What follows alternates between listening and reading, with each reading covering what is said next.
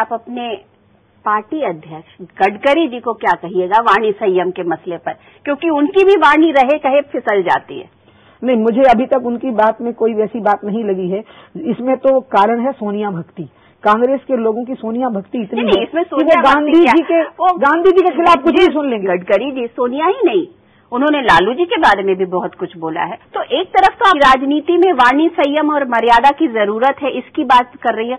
दूसरी तरफ़ आपके पार्टी के अध्यक्ष जो है उनकी वाणी जो है रहे सहे फिसल जाती है। तो आप क्या कहेंगे? मैंने जितने नितिन गडकरी जी के बयान सुने हैं उसमें मुझे नहीं लगा कि उन्होंने कहीं भी कुछ भी गलत तो, बोला। तो, लेकिन तो आप पतली गली से कट रही है। ना ना लेकिन दिग्विजय सिंह जी ने जो नुकसान पहुँचाया है भले ही वाणी का संयम नहीं किया सीबीआई के बारे में धमकियाँ देना कल ये कहा कि अन्ना हजारे अनशन करेंगे तो बाबा रामदेव के जैसा उनका भी हाल कर दिया जाएगा।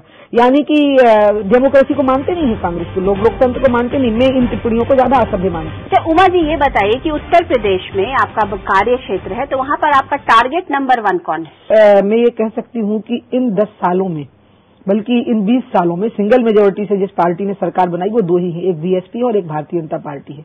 क्योंकि कांग्रेस बहुत बीते जमाने की बात होगी 20 साल से ज़्यादा पुराना हो गया। तो ऐसी स्थितियों में हम ये कह सकते हैं कि उत्तर प्रदेश में जो टक्कर होनी है, वो बीएसपी में और बीजेपी के बीच में होनी है। कांग्रेस उसमें कहीं खेल में नहीं होगी। पिछले लोकसभा के चुनाव में तो कांग्रेस ने अच्छा खासा वोट पाया अच्छा खासा उनका वोट का परसेंटेज बढ़ा तो इसलिए आप ये कैसे कह सकती हैं? आपकी तुलना में तो कांग्रेस ने बहुत अच्छा प्रदर्शन किया। लोकसभा चुनाव के जो परफॉर्मेंस के कारण थे, वो बिल्कुल डिफरेंट हो गए थे। और उन कारणों को अब दोबारा रिपीट नहीं किया जा सकता है, क्योंकि स्वयं मायावती का जो रुख था, वो भी कांग्रेस के प्रति उदारवादी हो गया था। हो सकता है आगे भी कांग्रेस के प्रति मायावती का रुख उदारवादी हो जाए क्योंकि वो सेंटर में जिस प्रकार के गेम खेलती हैं उनको या तो प्रधानमंत्री बनना है या उनको सेंटर में एक ऐसी कमज़ोर सरकार चाहिए जो उनके इशारे पर नाचे। उस हिसाब से भारतीय जनता पार्टी तो सेंटर में कभी मायावती के इशारे पर नाचे देश में तीन महिलाओं की, की लड़ाई अब शुरू हो गई है। मायावती जी रीटा बहुगुणा जोशी जी और उमा भारती जी। ये बताइए कि ये क्या हम लोग ये जो सास बहू के सीरियल में जिस तरीके की में होती है वैसी कुछ चीज़ें दिखेंगी क्या? एक तो मेरे लिए राजनीति टीवी सीरियल नहीं है बहुत ही सिंसियर और सीरियस चीज़ है। और आपने मेरा टारगेट पूछा था तो मेरा टारगेट रहेगा कि कुशासन ध्वस्त हो और सुशासन आवे। और तीसरी बात यह है कि वहाँ तो राहुल गांधी कमान लिए हुए हैं और मैं कमान लिए हुए हूँ।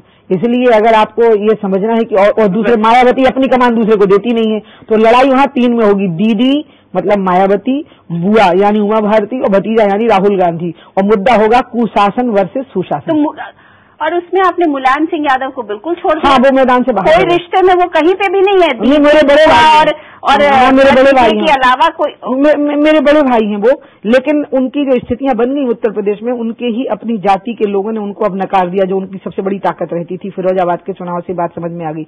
और अब तो उनके परिवार के लोगों ने में ही आधे लोगों ने उनको नकार दिया उनकी स्थिति ये बन गई। उन्होंने जिस प्रकार से घोर जातिवाद किया और घोर परिवारवाद किया। पर दीदी आपको भी तो जाति के नाम पे ही लाया गया आपको इसीलिए लेके आया गया कि एक आप पर्टिकुलर समुदाय की हैं जिसका एक इम्पोर्टेंट वोट बैंक है। मेरे को जाति के नाम पे नहीं लाया गया है। मुझे उत्तर प्रदेश के कार्यकर्ताओं के साथ जब मैं राम जन्मभूमि आंदोलन में काम की तो उत्तर प्रदेश के कार्यकर्ताओं के साथ में मेरा संबंध वैसा ही है जैसा कि मध्य प्रदेश के कार्यकर्ताओं के साथ है।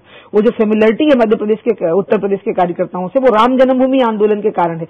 मुझे अपनी जाति पर गर्व है और मेरा आइडेंटिफिकेशन जाति के साथ करना इसलिए मुश्किल है उत्तर प्रदेश में क्योंकि मेरा आइडेंटिफिकेशन राम जन्मभूमि मूवमेंट के समय पर हुआ। अच्छा ये बताइए कि आपके पिता तुल्य थे कल्याण सिंह। आज की डेट में वो पार्टी में नहीं है। क्या आप उनकी वापसी की भी बात करेंगी?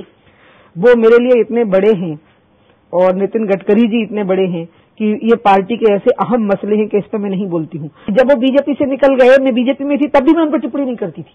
वो बीजेपी में आ गए मैं बीजेपी से बाहर थी, तब भी मैं उन पर टिप्पणी नहीं करती थी। आज मैं बीजेपी में हूँ और वो बीजेपी से बाहर है, मैं तब भी उन पर टिप्पणी नहीं करूँगी।